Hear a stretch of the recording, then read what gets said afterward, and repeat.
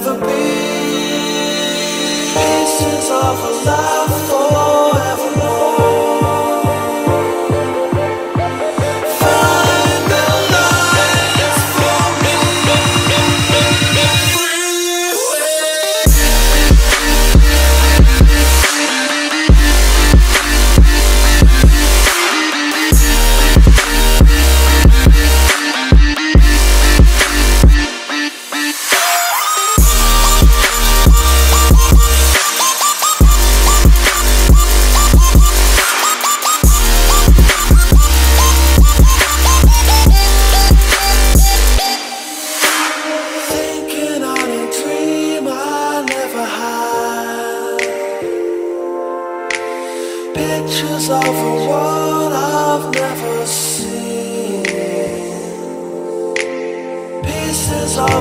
A life